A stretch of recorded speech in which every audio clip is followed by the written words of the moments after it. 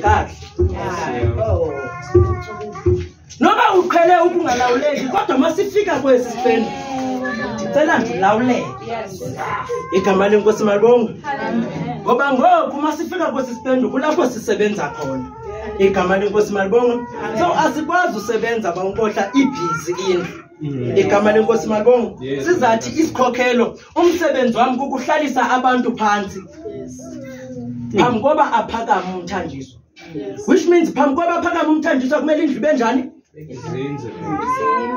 zinze ungabikho zitshekhase endlini igama lenkosi malibonga uma iphethe itsheka suyikhiphe ngefestile kwangomsamem igama lenkosi malibonga so ke ngofemeli yasekhaya niyayazi ke mama unkohla xa sifika kwesaa siqendi igama lenkosi malibonga kuye kutshintshe izinto because kaloba unkohla into esiyibalekayo um ithi vesi umalusi hmm. uyazazi ezakhe igama lenkosi malibonga yilaa nto ke ngoku kumele uma ungumalusi ube sho ngezimfo zakho igama lenkosi malibonga apha ezimvini kukhona ezi izimvu ezifana nalaa ndoda ekuthiwa ngupetros hmm.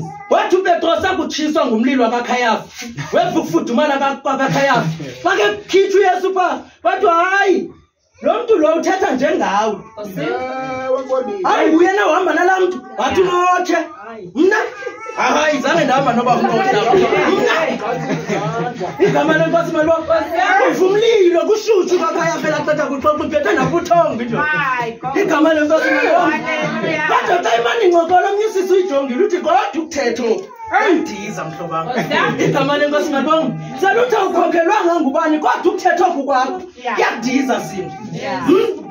uyifike sindi mbokelo kodwa xa uphakama ume epulpetini uthetha futhi heyi ukuthetha oku Hey, ndakasindi. yeba sithi nguye kodwa ukuthetha oku Hey. Hey, moya oyingcwele khanyiseni in- in- inkonzo niyibambe phaa kwelaa zinto ndiphakamisa umthandiso kathixo ndiphakamisa uba unqasana Kweli.